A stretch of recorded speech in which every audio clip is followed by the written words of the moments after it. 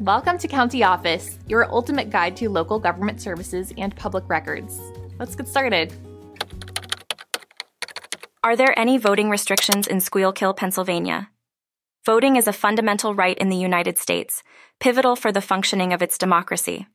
In Schuylkill, Pennsylvania, as in the rest of the country, this right is protected, yet certain regulations govern who can and cannot vote.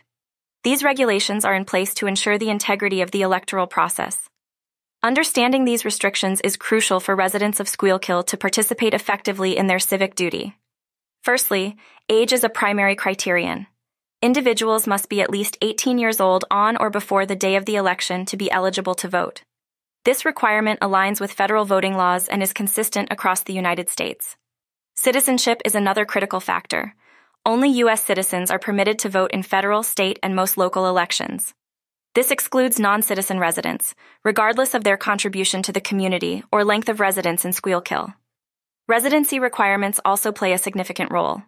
Voters must be residents of Pennsylvania and their electoral district in Schuylkill for at least 30 days before the election.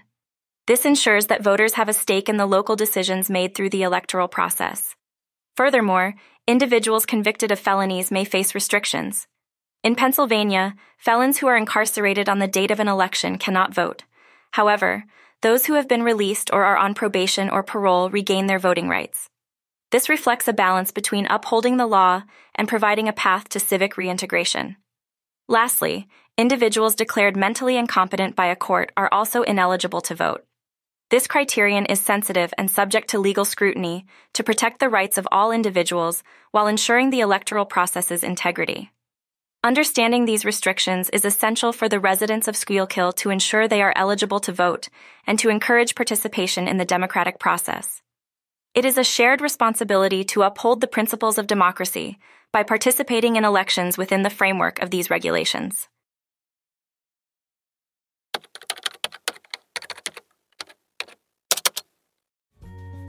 To learn more, check out these links, which you can click in the description below and feel free to comment your questions. We're here to help.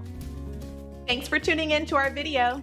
Please like and subscribe and leave a comment below. See you in the next video.